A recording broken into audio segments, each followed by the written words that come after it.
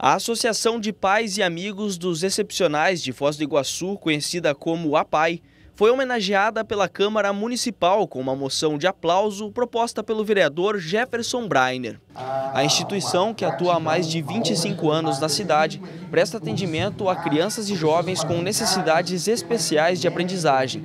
Além disso, a APAI conta com uma equipe de profissionais que cuidam da saúde dos alunos.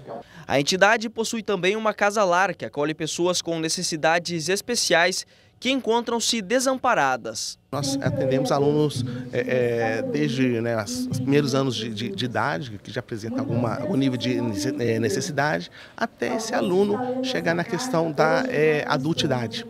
Em algumas situações, esse aluno, essa criança, esse adulto agora, ele tem algum problema social, familiar, que não teria condição de mantê-lo é, naquela fase adulta. Então, há uma questão de acolhimento da PAI é, em relação a esses casos. São casos mais críticos, são acompanhados né, pelas, pelos, pelos órgãos e nós temos também dentro da PAI uma casa lá que acolhe é, esses adultos, essas crianças, né, esses adolescentes e crianças e contamos também com a ajuda de mães sociais que doam parte do seu tempo para acolher e cuidar dessas, desses adultos. De acordo com o vice-presidente da APAI, a instituição é mantida por meio de convênios com a administração pública, doações e eventos realizados pela entidade.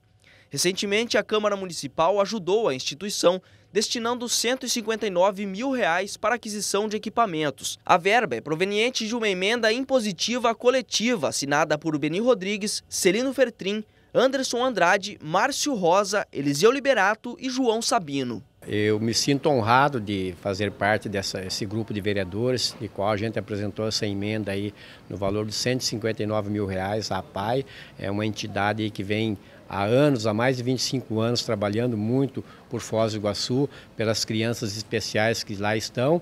E essa emenda impositiva é para compra de equipamentos. Isso vai vir muito a ajudar a entidade, a PAI aqui em Foz do Iguaçu.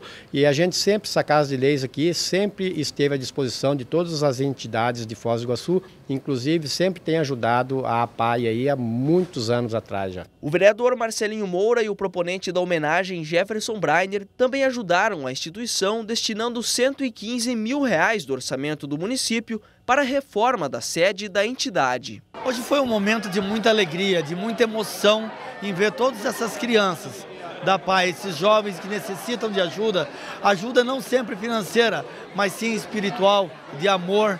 E nós, no ano passado, eu e o vereador Jefferson Bryan, fizemos uma emenda de 115 mil reais para arrumar algumas instalações que ali tinham certo? Então, para nós juntar hoje essa moção de aplauso para a PAI, junto com tudo aquilo que a gente vem fazendo no decorrer dos anos, para nós é uma alegria muito grande. No ano passado nós tivemos né, uma reunião, conversamos com os diretores e perguntamos quais as necessidades. A primeira me pediu, falou que era um carro para poder trabalhar com a PAI, e nós então destinamos uma emenda ali de 50 mil reais, foi comprado o carro, o carro já está lá. Depois tivemos lá novamente, aonde pediram uma ajuda para a reforma da PAI, então nós destinamos 100 mil reais para a reforma da PAI.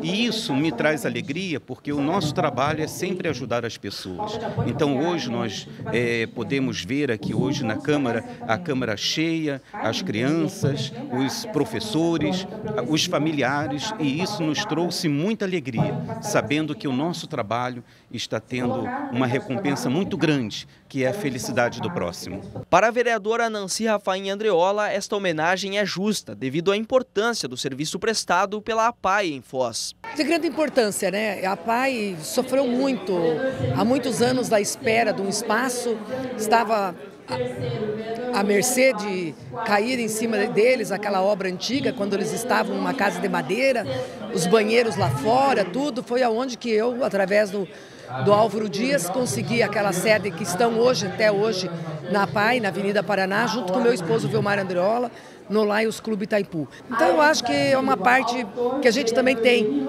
uma parte nisso tudo, né? Eu me senti homenageada também.